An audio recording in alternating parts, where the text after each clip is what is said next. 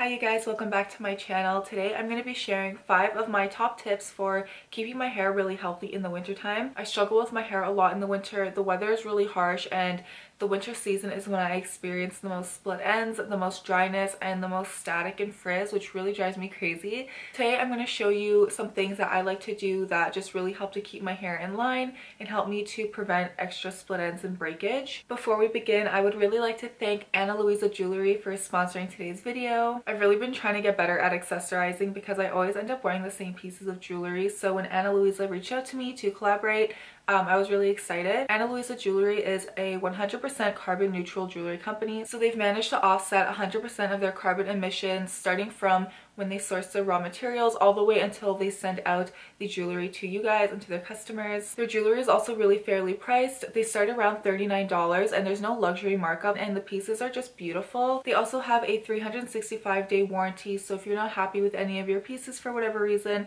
you have the chance to replace or refund them. And they also only produce limited batches of each piece to reduce excessive waste and to ensure really high quality. And right now they're actually having the biggest sale of the year going from December 2nd to to December 26, 2020. For the US only, they are doing a buy one, get one 40% off, and plus you'll get a free travel case with any order over $150. And for international shoppers only, they are doing a buy one, get one 40% off. I will have a link in my description box so you guys can go ahead and check out their holiday offers. I really think that a nice piece of jewelry is such a meaningful gift. You can get it for your mom, your partner, a friend, even a sibling. Um, I think it's just such a nice way to really personalize it for someone. And their jewelry is beautiful. Like it's really easy to stack. And they also have really dainty pieces for someone like me who doesn't really like a lot of jewelry. I love like tiny little dainty pieces like this or even like these earrings that I got from them. So really quickly, I'm going to show you the pieces that I chose. First, I chose this really pretty little gold butterfly necklace.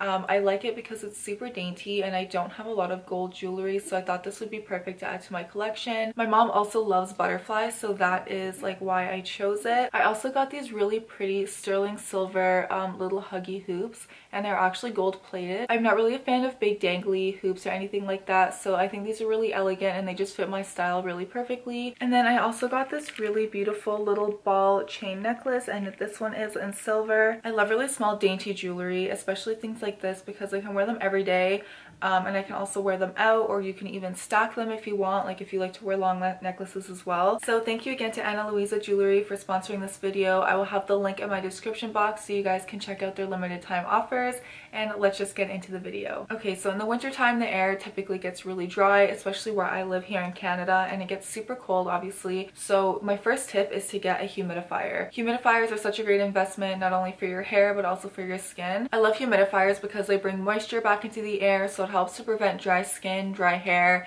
and it also just helps me from being super congested in the wintertime. I find that it's easier for me to breathe throughout the night and the next day I don't feel congested or like my throat is dry or anything like that. So I've just been really enjoying using my humidifier the past few weeks since it's gotten really cold. The one I have also has a feature where you can add essential oils to it so that it also acts as like an essential oil diffuser. I personally don't use that feature very much though because my pets like to be in my room a lot and essential oils can be harmful to animals so just be aware of that if you have pets but I'll try to find mine and link it down below so you guys can check it out. I actually really love it.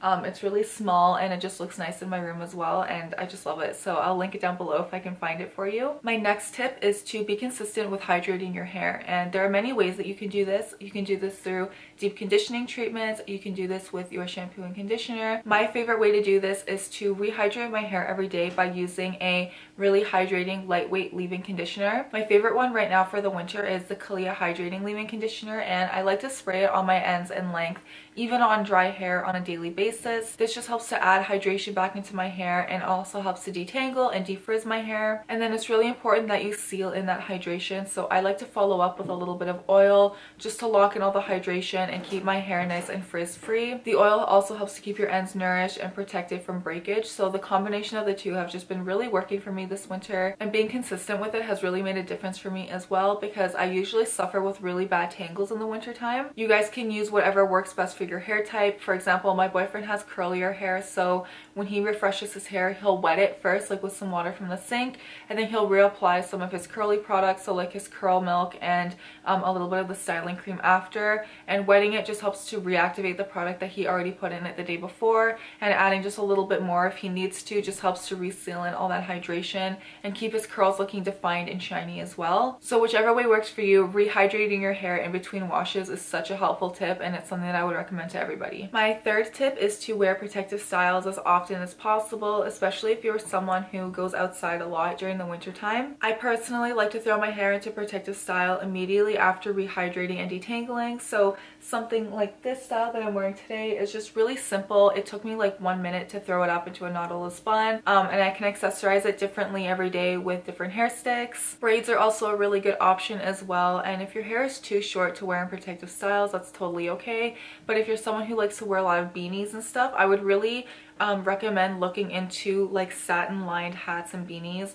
they really help to protect your hair from frizz and breakage and prevent a lot of that unnecessary friction from just regular like knit fabric on your hair. And if your hair is too short for protective styles as well, sleeping with a uh, satin or silk pillowcase at nighttime can really just help to protect your hair while you're laying down um, and prevent unnecessary frizz and breakage as well. So my next tip is to be really consistent with masks and treatments and I know I always say this in the growth challenges and stuff but it honestly made such a difference for me when I first started my hair journey. You can use whatever type of hair mask you want. It can be a DIY, it can be a store-bought mask. You can alternate between masks if you want like I do. It's really up to you but consistently using a hair mask like maybe once a week or once every other week really just helps to rehydrate, re-nourish and re-strengthen your hair and this is really important in the wintertime because your hair is facing all kinds of harsh weather conditions, um, especially the cold, dry air. It can be really damaging to the hair. And finally, the last tip I have is probably really obvious, but it's something that I've done a lot and I'm really guilty of and it's do not go outside with wet hair.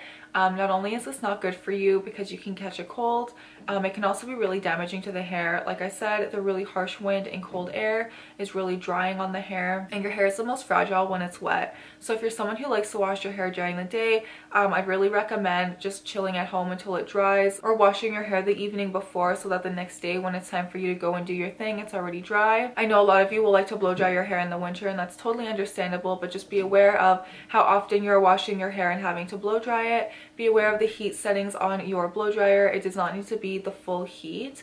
Um, and if you are using full heat, make sure that you invest in a good heat protectant.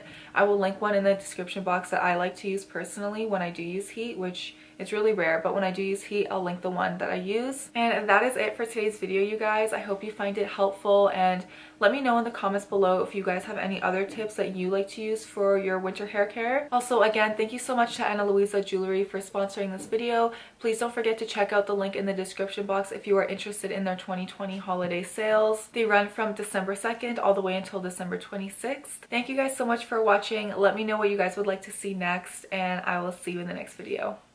Bye.